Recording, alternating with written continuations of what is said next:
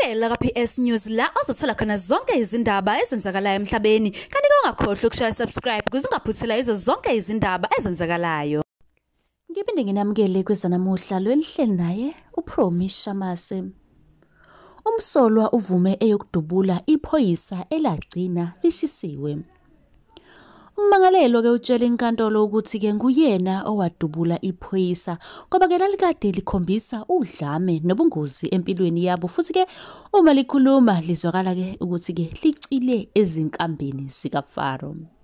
Lobu ke ubufakazi ke obethulele obethulwe umzika Ifani Khayelihle Ndebele owayena 18 ubudala ngalesi sikhathi ke kudubula uConstable Zolile Zuma owayengekho emsebenzini ngesikhathi ke somtapo ngoJuly 13 2021 etshela imnyama eMariannhill.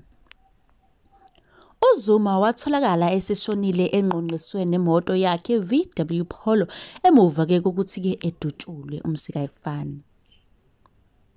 Udokotela Wandile Mpele wahlola ke isidumbu sikaZuma utshela ke inkantolo ukuthi ke umufi washiswa ephila wabulawa.